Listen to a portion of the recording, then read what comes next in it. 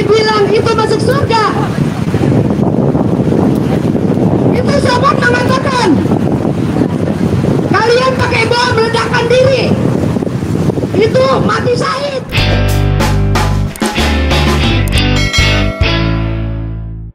Seperti ini. Demi anak cucu kami kelak bisa menikmati bagaimana indahnya Indonesia ini yang kaya raya segala apa pun yang ada di Indonesia ini tambang apa pun Indonesia ini ada. Indonesia ini sangat kaya. Apa yang tidak ada di Indonesia ini? Tapi kita selalu selalu dikalahkan oleh ormas-ormas radikal yang mengatakan mereka punya kunci surga mereka punya kunci surga. Jadi mereka lebih Tuhan daripada Tuhan. Mereka bisa tahu orang itu masuk surga atau neraka. Mereka tahu. Kalau kita ini semuanya nanti orang kafir masuk neraka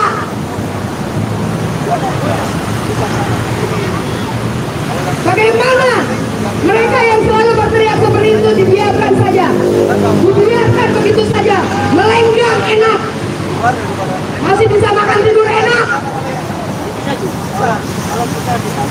Tapi kita yang menderita didiamkan saja. Banyak hal yang terjadi di Indonesia selalu dipandang sebelah mata.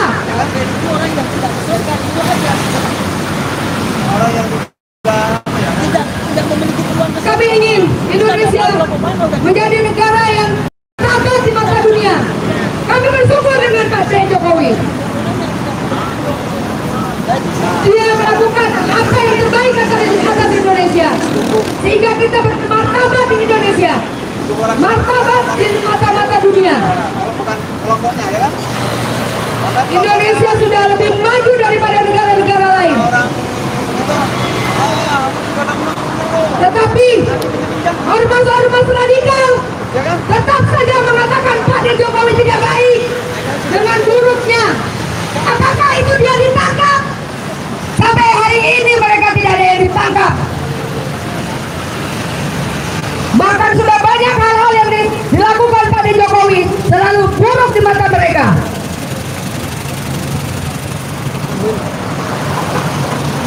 Kita ingin semua yang ada di Indonesia, kadrun-kadrun semua itu ditangkap. Biar tahu rasa di penjara enak gak?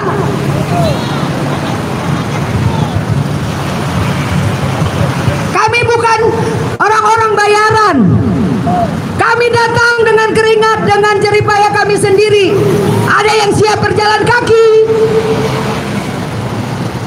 Apakah kalian tahu mereka semua? Apakah mereka pekerja yang dapat gaji dari pemerintah? Tidak. Bahkan mereka ada yang pemulung. Mereka siap datang ke sini dengan uang pas-pasan. Kami tidak dibayar. Kami datang berteriak, kami tidak dibayar. Kami inisiatif kami sendiri. Bahkan kami bersumbangsi. Yang ada uang sepeser, dua peser, kami berikan untuk teman-teman yang datang. Kami sama sekali tidak dibayar. Kami membela negara dengan hati nurani. Kami membela negara dengan cinta tanah air. Kami tidak perlu uang negara. Kami masih bisa mencari uang dengan halal. Dengan jeripaya keringat kami sendiri. Tapi kami yang inginkan adalah toleransi yang indah atas negeri ini. Kami ingin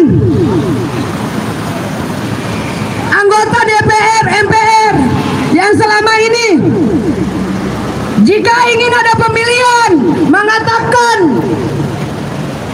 kami siap untuk memberikan ini, itu, sedang kampanye. Setelah naik, no!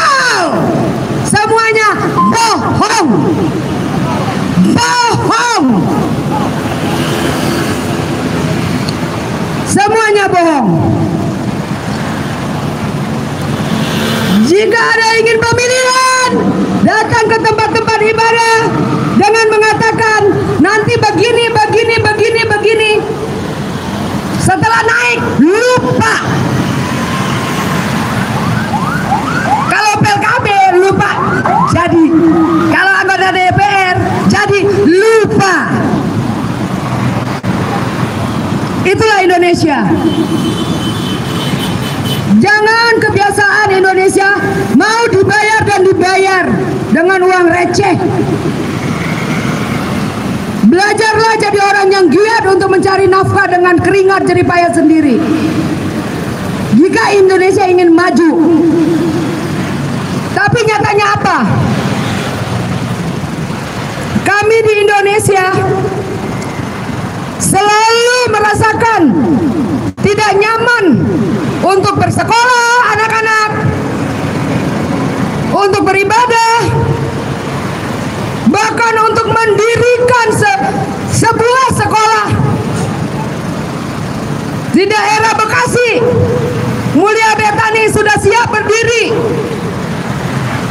untuk SMP dan SMA oleh ormas radikal sampai detik ini tidak bisa berdiri di era Bekasi Timur. Apakah anggota DPR dan MPR di sini mendengarkan? Apakah mereka mengerti? Mereka tutup mata, tutup telinga. Tidak ada. Kami menginginkan tempat sekolah yang bisa anak-anak kami bersekolah dengan tenang. Karena kami di sekolah negeri kami tidak bisa hidup tenang. Habis anak kami dibully. Karena anak saya sendiri di sekolah negeri dibully habis-habisan.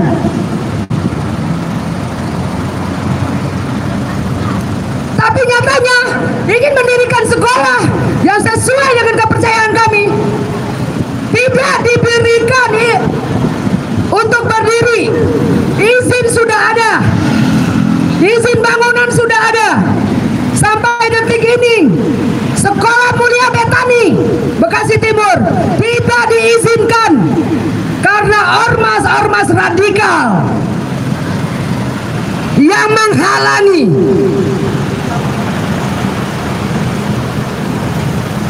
kami menyuarakan menyuarakan keinginan hati kami kami berteriak bukan untuk diri kami pribadi. Kami berteriak untuk keamanan Indonesia. Kami berteriak untuk kenyamanan anak cucu kami kelak. Kami punya keluarga di sini. Kami punya ibu ayah kami di sini. Keluarga kami banyak di sini kami tidak akan pernah mau menjadi perusuh. Kami rindu. Kami ingin. Mana? Aktivis 98 dulu. Yang dulu bisa melengsarkan Orba.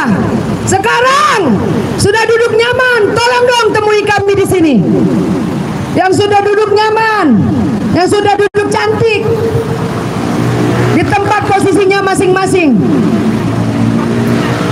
Datang turun temui kami. Dengar suara kami, dengar teriakan kami. Bagaimana di bawah orang-orang yang beribadah ataupun apa di bawah di sekolah-sekolah yang sudah memberi peraturan anak-anak harus ber agama muslim harus dipaksa dengan memakai hijab. Itu di Padang dulu. Sampai saat ini anak itu keluarga itu meninggalkan Padang karena dipaksa untuk bermakai hijab. Satu keluarga itu saat itu saat ini sudah meninggalkan Padang. Apakah itu yang dinamakan toleransi apakah itu yang dinamakan kemerdekaan atas Indonesia Semakin hari Indonesia semakin kritis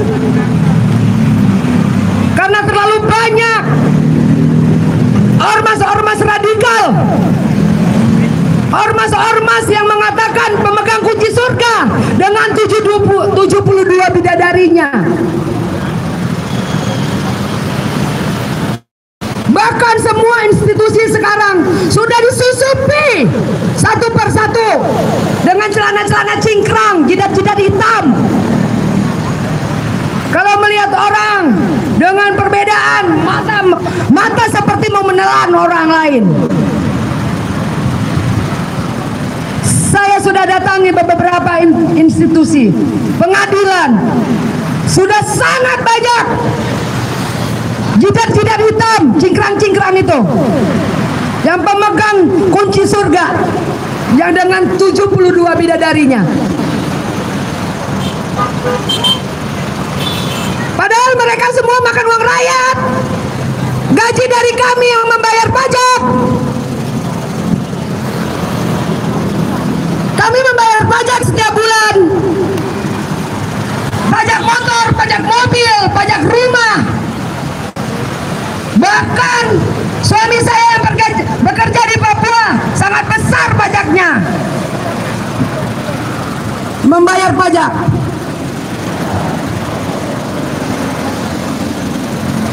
Tapi nyatanya apa? Mereka masih mau mendirikan negara di atas negara. Mereka men ingin mendirikan negara yang sesuai kaidah mereka. Apakah itu Indonesia yang sesungguhnya saat ini? Saya sangat miris, miris sekali. Semakin di daerah semakin banyak yang disusupi. Semakin di daerah semakin banyak yang disusupi. Bahkan program pemerintah sendiri mereka bilang Jokowi tidak mau bayar KIS. Karena KIS sudah tidak berlaku. Di daerah saya sendiri Lubuk Linggau Sumatera Selatan. BPJS mandiri yang bayar boleh. Datang bayar akibat apa? Ormas radikal yang mengatakan itu. Ormas ormas memegang kunci surga. Apakah bom bunuh diri yang dikatakan somat itu dibilang itu masuk surga? Itu somat mengatakan. Kalian pakai bom meledakkan diri. Itu mati syahid kenapa somat tidak ditangkap? Kenapa? Tangkap somat tangkap somat supaya tidak bersuara lagi seperti itu. Bom katanya itu bagus. Boleh bapak-bapak polisi semua coba cek. Youtube-nya Abdul Somad yang mengatakan itu. Saya bukan mengada-ngada itu kenyataan sudah tersebar kami tidak mau mengebom-ngebom kami tidak mau meledak-ledakan diri kami ingin Indonesia aman. Kami bersuara ingin Indonesia damai. Dari khilafah. Kami tidak ingin Indonesia seperti negara-negara Timur Tengah.